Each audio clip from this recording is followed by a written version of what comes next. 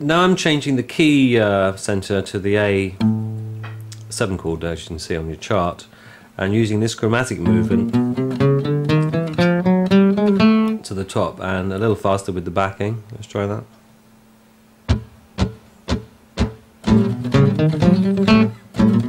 Thank you.